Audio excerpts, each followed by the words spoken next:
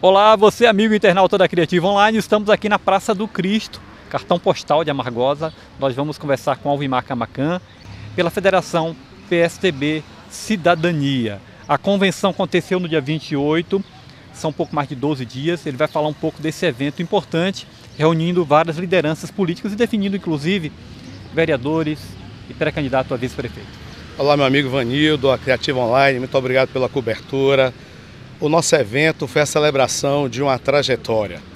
Nós vimos desde 2020 e o Cidadania vem evoluindo. Observe que na atualidade nós temos 12 candidatos, né?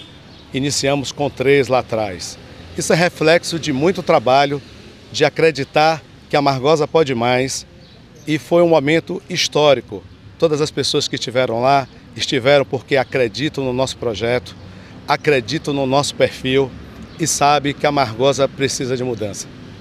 E vocês escolheram inclusive o nome a vice, né? Renê, um jovem bastante conhecido, empreendedor, inclusive.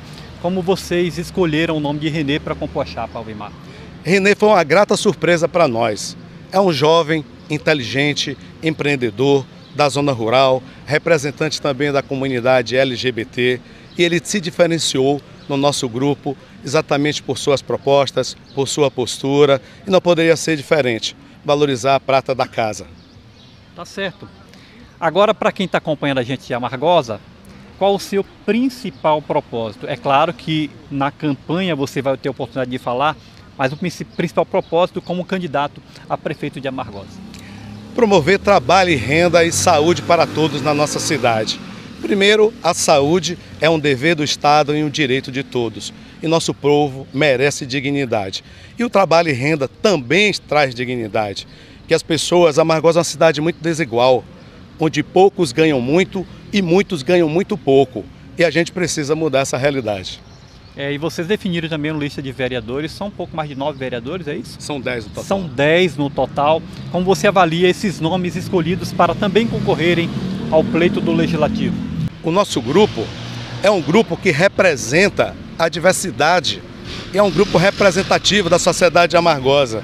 Por quê?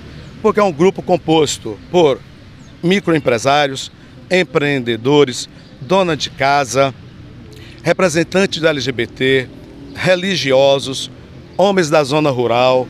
Então, é um grupo que traz essa diversidade existente na sociedade amargosa. Estamos muito felizes com essa composição. Tá certo, então. A gente vai ter outra oportunidade de falar na campanha com os outros candidatos, inclusive com o próprio Alvimar. Desejo boa sorte nessa empreitada que começa a partir de agora, depois da convenção. Meu amigo, a gente só tem a agradecer a vocês, vocês que estão junto conosco desde 2020, que faz uma reportagem sempre com muito profissionalismo e acompanhando o que há de relevante na sociedade amargosense. Muito obrigado. Aqui agora com o René Alves, pré-candidato a vice-prefeito ao lado de Alvimar Camacan. Ele que participou da convenção no dia 28 de julho. Fala a tua expectativa com relação a essa campanha ao lado de uma pessoa que é experiente também na política, René. Olá, Ivanildo. Eu agradeço aqui o espaço que você está nos proporcionando. Olá, telespectador da Criativa Online. É, a, a, convenção foi um momento muito importante para a vida da gente, acredito que também para a história de Amargosa. É, estou agora ao lado do Alvimar, um grande parceiro, né, um grande aliado, ao qual eu tenho dado todo o apoio nesse processo. A gente representa um grupo completamente novo em Amargosa, de cidadãos né, insatisfeitos com muitas desigualdades da nossa sociedade, da nossa cidade.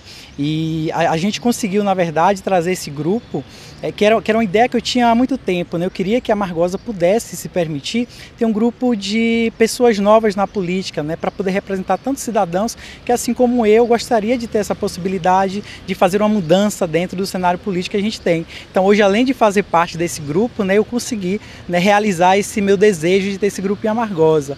A convenção ela, ela foi muito importante para a vida da gente, né? foi muito importante para a história de Amargosa, porque é a concretização disso que eu tanto anseiava.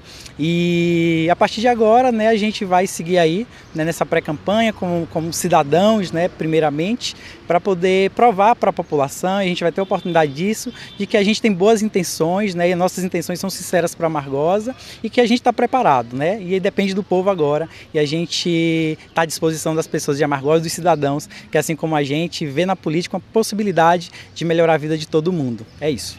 Pois é, Renê é uma pessoa conhecida aqui por, por ser empreendedor, um jovem empreendedor. Como surgiu a ideia de você também entrar na política e ser convidado pelo grupo de Alvimar?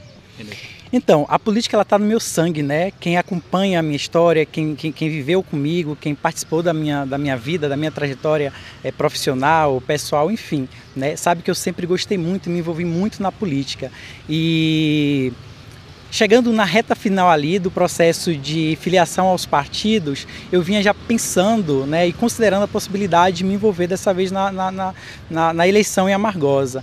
E tentei contato com alguns partidos, não tive sucesso.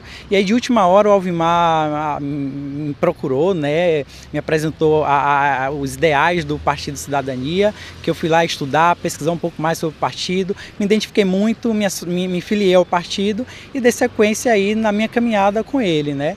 É, eu, como já falei, não acredito que sem, sem estar dentro da política a gente não vai conseguir mudar nem melhorar muito a vida das pessoas. Eu já vivenciei isso por, por várias vezes, então não tem outro caminho, o único caminho é esse. E as pessoas em Amargosa precisam se conscientizar disso e participar mais da política, é, entender o que realmente acontece, para que elas consigam, é, de certa forma, é, através da política, melhorar a vida delas. Tá certo, Renê. Como eu falei com o Alvimar, a gente vai ter outras oportunidades para falar desta campanha que vai se iniciar a partir do dia 16 com vocês e com outros candidatos também a Margosa. Desejo boa sorte, Renê. Muito obrigado, Creative Line, muito obrigado, Ivanildo, muito obrigado a todos os ouvintes, os telespectadores aí da Creative Online. Abraço, gente.